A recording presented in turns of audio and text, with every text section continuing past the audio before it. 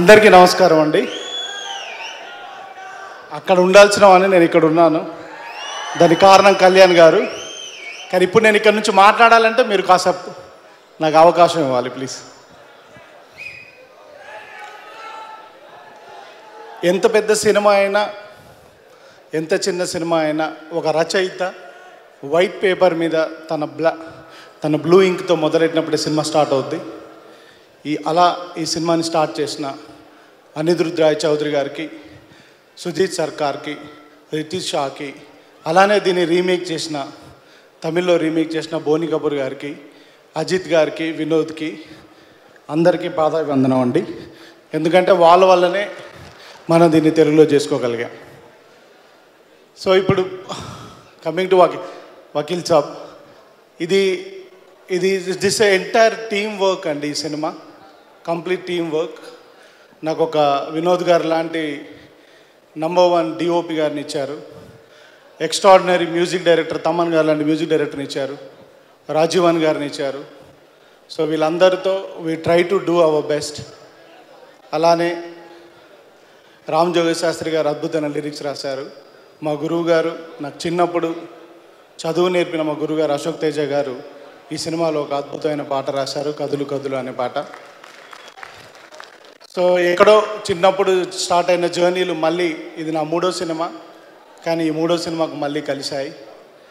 So ఆ రకంగా ఈ అవకాశాన్ని కల్పించిన Vakeel Saab so special to me. అలాగే నాతో అంటే ఈ సినిమా మేము ఒక సిక్స్ మంత్స్లో కంప్లీట్ చేయాలి. కానీ కోవిడ్ వల్ల ఇది ఒక వన్ అండ్ హాఫ్ ఇయర్ పట్టింది. ఈ జర్నీలో నాతో కంప్లీట్గా ట్రావెల్ అయిన నా ఫ్రెండ్ బాబీ అండ్ అలానే నాతో డైలాగ్స్ రాశాడు. తను కూడా తిరు. అంటే చాలామంది వచ్చి వెళ్ళిపోయారు but we were together my entire direction department and then we were together from the start of this film to end of this film thank you Bobby and thank you Thiru and my direction department everybody and the artist and the beautiful angels నేను angels అంటుంటాను ముగ్గురిని. Nivetha Thomas Anjali garu Ananya they did a beautiful job Prakash Raj garu Shruti Haasan and the boys everybody did a good job thank you thank you very much వేణుగారు మీరు complete చేసే ముందు కొన్ని questions ఉన్నాయండి. నేను complete ఓ, okay సరే చెప్పండి so యాక్చువల్గా నాకు ఈ అవకాశం ఎలా వచ్చిందంటే అండి దిల్రాజు గారు నన్ను త్రివిక్రమ్ గారికి రికమెండ్ చేశారు. త్రివిక్రమ్ గారు కళ్యాణ్ గారికి రికమెండ్ చేశారు. సో నాకు ఈ అవకాశం మా దిల్ రాజు గారి వల్ల త్రివిక్రమ్ గారి వల్ల వచ్చింది. Thank you very much sir యాక్చువల్గా నాకు త్రివిక్రమ్ గారు ఫోన్ చేశారు. ఏమండి ఈరోజు మనం కళ్యాణ్ గారిని కలవబోతున్నాం అని అన్నారు. నేను మీ ఫోన్ కోసం వెయిట్ చేస్తాను సార్ అన్నాను. సడన్గా ఫోన్ చేసేసి రండి మన కళ్యాణ్ గారి దగ్గరికి వెళ్దాం అన్నారు. నేను త్రివిక్రమ్ గారి రూమ్లోకి వెళ్ళాను ఇంటి దగ్గరికి వెళ్ళాను ఒక రూమ్లో ఉన్నాను. నేనేమనుకున్నానంటే సో ఇప్పుడు త్రివిక్రమ్ గారు బయటకు వస్తారు. నన్ను కారులో తీసుకొని ఎక్కడో కళ్యాణ్ గారి దగ్గరికి తీసుకెళ్తారు అనుకున్నాను. కానీ త్రివిక్రమ్ గారు డోర్ తీశారు. డోర్ తీస్తే అక్కడ ఒక ఒక కట్అవుట్ ఉంది. ఓకే. వైట్ అండ్ వైట్లో ఉన్నారు. నేను ఆనెస్ట్గా చెప్తున్నానండి నాకు ఒక గుడిలోకి వెళ్తున్న ఫీలింగ్ కలిగింది. నేను నేను హిమాలయ పర్వతాల గురించి చదివామండి. మనం ఎప్పుడో చిన్నప్పుడు మన స్కూళ్ళల్లో హిమా అంటే హిమాలయాస్ గురించి చదువుతాం. అవి చాలా ఈ దేశంలో ఎత్తైన పర్వతాలు అని. కానీ అవి కరిగితే మన దేశమే కొట్టుకుపోతుందని చదువుతాం. అంటే దాని మీద మనకు ఒక భయము ఒక ప్రేమ రెండు ఉంటాయి. నాకు అలాంటి హిమాలయాల్ని నేను ఒక సినిమా లొకేషన్కి వెళ్ళినప్పుడు దగ్గరగా చూశాను. నాకు అక్కడికి వెళ్తే ప్రశాంతంగా ఫీల్ అయ్యాను.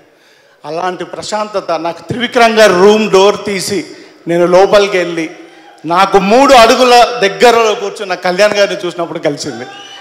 I have been his fan from the childhood I'm a proud fan of PSPK okay so I so అది నా ఫస్ట్ ఇంట్రాక్షన్ అండి. సారీ అండి నా తడి ఆరిపోతుంది కొంచెం వాటర్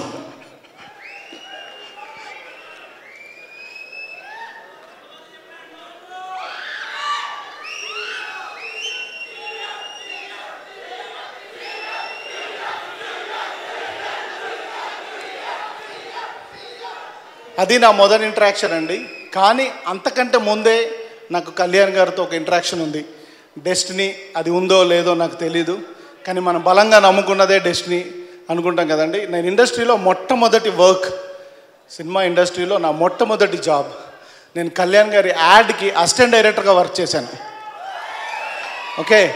ఇప్పుడు రాజు గారు చెప్పినట్టు హరీష్ గారు చెప్పినట్టు రాజు గారికి హరీష్ గారి స్టోరీలో ఇంకో ట్విస్ట్ ఏంటంటే ఆ రోజు సంధ్యా థియేటర్లో నేను కూడా ఉన్నాను. కానీ నేను నాకు ఒక డైరెక్టర్ అవుతాను నాకు అవకాశం వస్తాయని మాత్రం నేను అనుకోలేదు. ఈ సినిమా చూడడమే ఎక్కువరా ఆ రోజు నేను ఫోర్ షోస్ కంటిన్యూస్గా చూశాను. So okay. నేను అప్పుడు డిగ్రీ ఫస్ట్ ఇయర్ చదువుతున్నాను. నేను ఫోర్ షోస్ కంటిన్యూస్గా తొలి ప్రేమ చూశాను. సో అది అంటే ఫస్ట్ స్టెప్ ఫస్ట్ అడిగే నాకు ఇండస్ట్రీలో అలా ఆ కళ్యాణ్ గారితో వర్క్ చేసే అవకాశం దొరికింది. తర్వాత వకీల్ సాబ్. నేను ఫార్టీ టూ డేస్ షూట్ చేశాను. ప్రతి ఇంటరాక్షను ప్రతి డిస్కషను ప్రతి ఇది ఎన్రిచింగ్గా ఉంది. లాస్ట్ డే డబ్బింగ్ చెప్పిన తర్వాత సార్ వెళ్తూ ఇలా పిలిచి ఒక ఫోటో తీసుకుందామా? అని నా భుజం మీద చేసి ఒక ఫోటో తీసుకున్నారు. నా ఫస్ట్ మీటింగ్ నుండి ఆయన నాతో ఫోటో తీ- ఆ ఆ ఫోటో తీసుకున్నంత వరకు ప్రతి మూమెంట్ రెండు గంటల ముప్పై నిమిషాల సినిమా ఇది ఇంకా కొంత రష్ ఉంది. నాకు ప్రతీది ప్రీషియసే ప్రతి మూమెంట్ ప్రతి ఇంటరాక్షన్ ఆయనతో డబ్బింగ్ చెప్పించింది ఆయనతో స్టోరీ డిస్కస్ చేసింది ఆయన ఇన్పుట్స్ ఇచ్చినాయి ఆయనకు మ్యూజిక్ వినిపించింది ఆయనతో ఫైట్స్ డిస్కస్ చేసింది ఎవ్రీథింగ్. ప్రతిదీ నాకు precious. Sir indebted by you for ever as a PSPK fan. Thank you thank you very much sir. మీకు అందరికీ చెప్పాలి ఆయన కోరుకుంటే దేశంలో ఉన్న డైరెక్టర్లు అందరు క్యూలో ఉంటారు.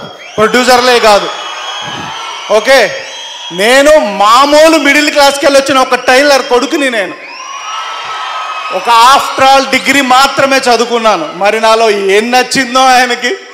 అది డెస్టినీయో? నా పూర్వజన్మ సుకృతమో? మా అమ్మ నాన్న అదృష్టమో? నా పిల్లల అదృష్టమో? నాకు తెలీదు. నాకు ఈ అవకాశం వచ్చింది. Thank you thank you sir. నేను ఈ సినిమా ద్వారా వకీల్ స్వాబ్ ద్వారా మీ అందరి జీవితంలో మనందరి జీవితంలో మగువ శ్రీ మనందరిలో మనందరిలో మన చుట్టూ ఉన్న వాళ్ళందరి వాళ్ళ విలువని ఒక తల్లిగా ఒక భార్యగా ఒక గర్ల్ ఫ్రెండ్గా ఒక చెల్లిగా అక్కగా వాళ్ళందరినీ విలువని తెలియజేయడానికి ట్రై చేస్తున్నాము.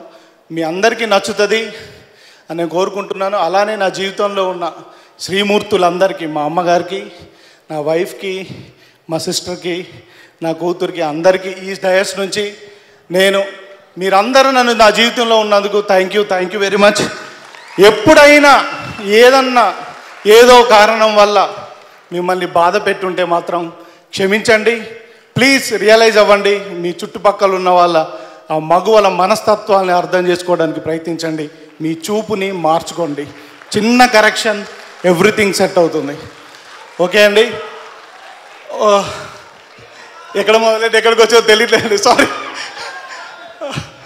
థ్యాంక్ యూ అండి. Thank you very much so ఈ విషయాన్ని చెప్తున్నందుకు for ever for ever and ever proud PSPK fan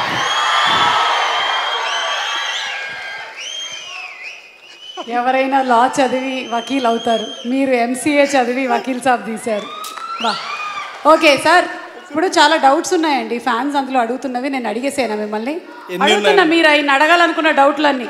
Pawan Kalyan గారికి త్రీ లుక్స్ ఉన్నాయా ఫోర్ లుక్స్ ఉన్నాయా? ఇలా కొన్ని. మాకు యాక్చువల్గా త్రీ లుక్సే ఉన్నాయండి. ఆ డౌట్ ఎందుకు వచ్చిందంటే మేకింగ్ వీడియోలో సార్ స్పెట్స్ పెట్టుకున్న లుక్ ఒకటి చేసాము అది ఆయన షార్ట్ గ్యాప్లో చదువుతున్నప్పుడు చదువుకుంటున్నప్పుడు తీసిన షార్ట్ అది అంటే ఆ వీడియో సో సార్ త్రీ లుక్సే ఉన్నాయండి. Doubt one cleared doubt two Shruti Haasan garu ఇందులో క్లాసికల్ డాన్సరా రెండు సార్లు ఇలా గజ్జలు ఇలా ఇలా అన్నారు అందుకని. ఇది తమన్ గారు ఒక ప్రమోషనల్ వీడియో తీశారండి. ఆ కొరియోగ్రాఫర్ తీసిన షార్ట్ అండి. ఈ సినిమాలో శృతి హాసన్ క్లాసికల్ డాన్సర్ కాదండి సెకండ్ హాఫ్లో ఏదో సర్ప్రైజ్ ఉంది అని ఒక ఇంటర్వ్యూలో చెప్పారు. ఏంటది సర్ప్రైజ్ సర్ప్రైజ్ ఎందుకు చెప్తారయ్యా? ఎవరయ్యా ఇది అడిగింది? అది సర్ప్రైజ్ కాబట్టి చెప్పరు. అంతే కదా?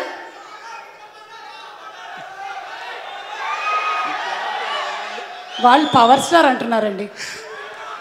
సి సర్ప్రైజ్ ఏంటంటండి? సెకండ్ హాఫ్లో మీరు మళ్ళీ ఎక్కువ ఎక్స్పెక్ట్ చేస్తారు. ఉమ్మ నేను చెప్పేస్తాను. చెప్పొద్దా?